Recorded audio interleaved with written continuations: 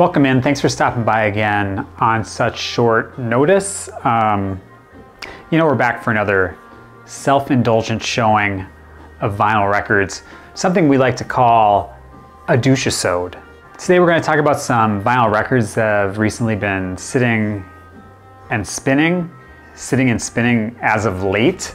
Um, I've got a couple recently released albums. I have some VCLT from Canada and a reissue of an LP that originally came out in 1985. As usual, we do have an abundance of meat stick available for you. You are all welcome to, um, you know, nibble nibble at your own leisure. Let's go ahead and get this show on the road. You know, you don't want to you don't want to spend all day here. This is the second LP from the um, the Umbrellas. The album is called Fairweather Friend on Slumberland Records. I think their debut came out a couple of years back now. San Francisco Bay Area group. This this LP just came out in January, highly anticipated um, by me at least, and I have to say it does deliver. Just you know, jangly indie pop, taking influences from from like C86 artists and and Paisley Underground artists.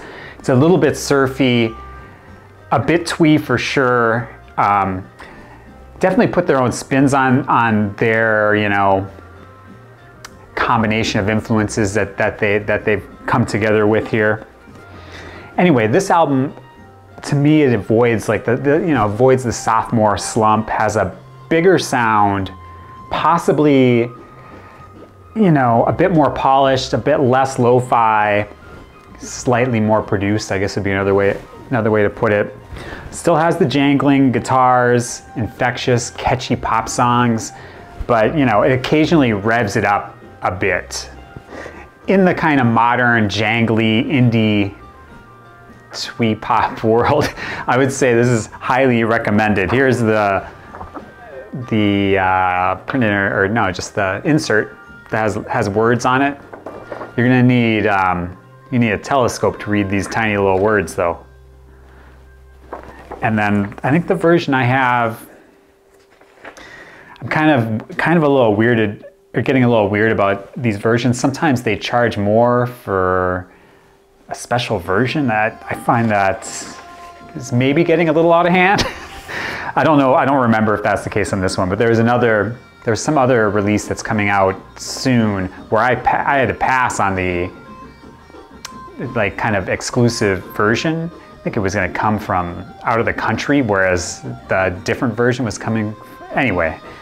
I think this is the only available mail order version and maybe direct from the band on this blue colored fancy pants, slightly fancy pants, blue colored vinyl. Anyway, yeah, the, the umbrellas, fair weather friend. Crooked liars and lazy minds, it's pastiche times, molding us like plasticine. Wash rags, gasoline, the parades of parade. They'll dry, why even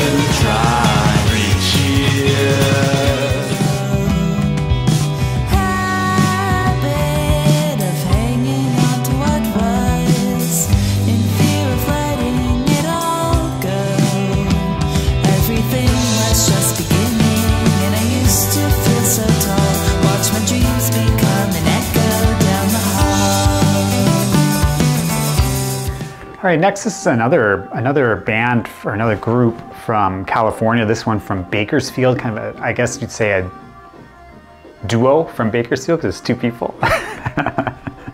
called um, or, called Fawns of Love. That's that's the group, and the album is called Fear the Softest Gaze. This is on Kingfisher Bluez Records. I believe this was originally released digitally in October, but the physical release, I believe, just came out in January. So this is, you know, dream pop slash post punk, heavily, I'd say heavily, very heavily influenced by Cocteau Twins and early Cure Um, very ethereal and dark with lots of like atmospheric synthesizer. If you look at the instruments, it's tons of different like Moog synthesizers on here. Yeah, the second track called Ambrose Pierce features Calvin Johnson from Beat Happening, Halo Benders, Dub Narcotic, etc., K Records. Um, and then also there is a second, uh, an alternate version of the title track, Fear the Softest Gaze. Uh, that, that is a Robin Guthrie version, Robin Guthrie from Cocteau Twins. This is the Fancy Pants vinyl on, on this one. Anyway, probably something that there's certain people are going to really eat this up that are maybe more into definitely people that are into the Cocteau Twins, but also a lot of a lot of 80s and a lot of synth pop elements, atmospheric synth pop. I think is is what I would say. Anyway, Fawns of Love is the group, and the album is Fear the Softest Gaze.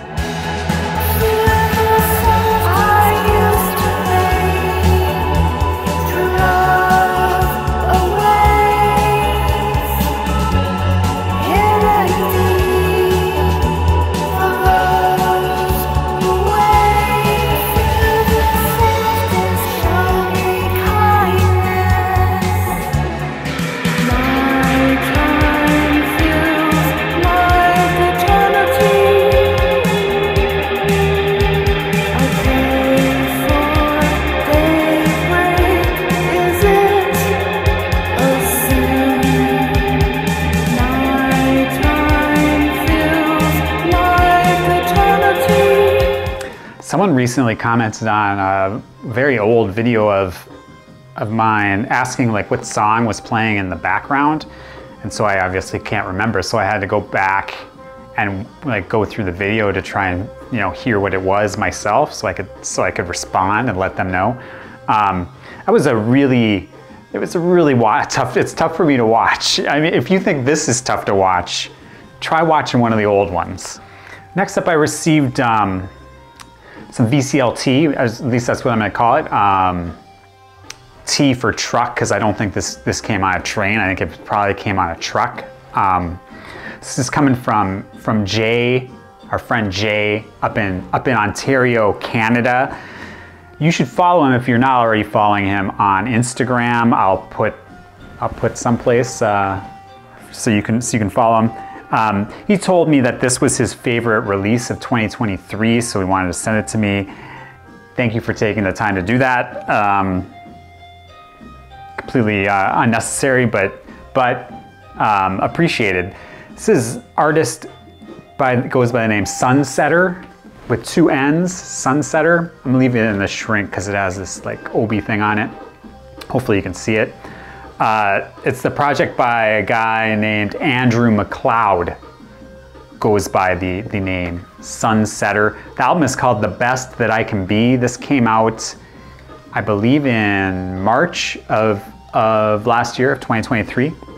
So I'm gonna call this kind of like beautiful atmospheric post-rock with like folk and dream pop elements as well.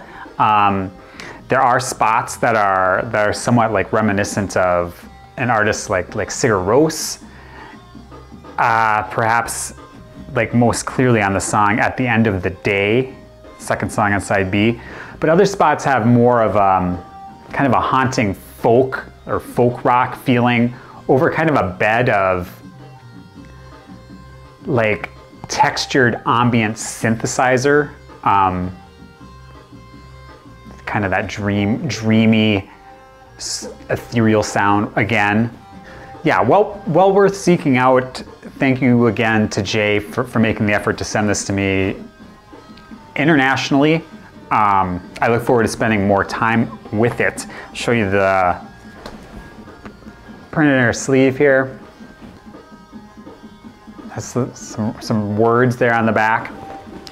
And this is on um, kind of a clear, they're transparent, transparent lavender vinyl. Yeah. Sunnsetter, The Best That I Can Be. This is on Paper Bag Records.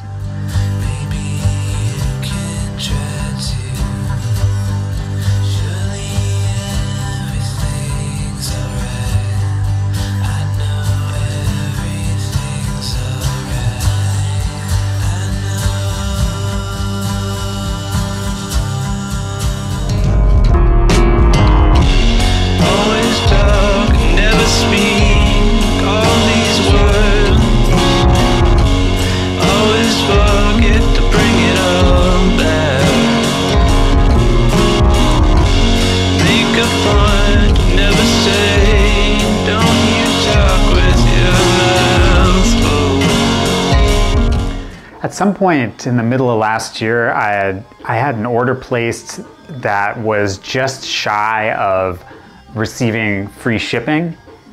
Um, I think that the shipping was seven dollars, and maybe I was a, just like a dollar or two under it. So I went through the um, the clearance section to, to to try and get get just just get over that hump. And so I did. I got this uh, this 45 uh, by by Twerps, which is I totally didn't need, but it, it, basically was cheaper to get the order with this than it would have been just to order what I was going to anyway. But anyway, on, on Merge Records, Twerps, back to you, backed with, always waiting. Um, if you don't know Twerps from, from Melbourne, kind of lo-fi, jangly noise pop, a lot of Flying Nun influences. This, uh, the song Back to You was from their second LP, Range Anxiety, which is from 2015. This was released, I think, in the tail end of 2014. So it's definitely not something that I needed, although I will say the, the B-side, Always Waiting, is a good one, so it is good from that aspect. But I probably wouldn't have necessarily paid the money for it, but for negative several dollars, it's worth it.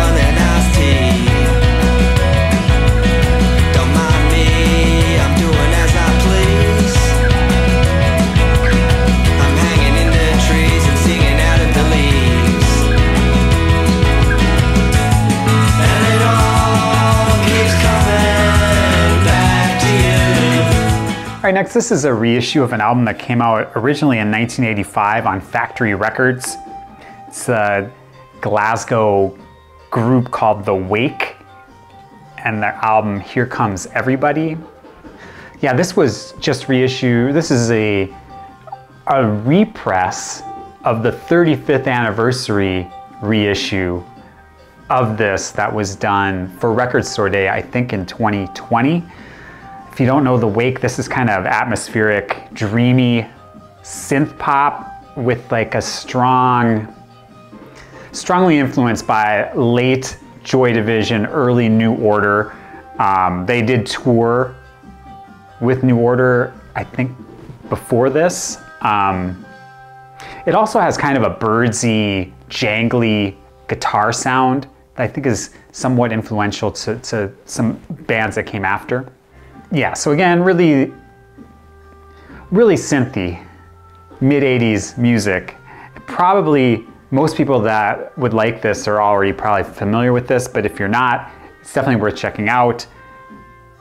I think a really, really strong album if you can get down with this kind of music. Um, this version has a, comes with a 45. I'll show you the inner sleeve here.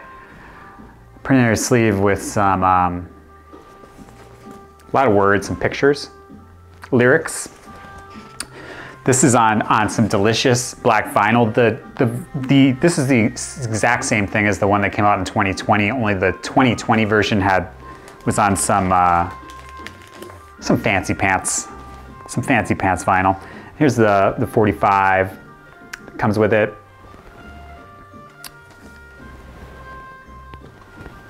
Which is also on, it's also on some, some rather fetching, delicious black vinyl. Anyway, yeah, The Wake, Here Comes Everybody. This was by Factory Benelux Records, I believe.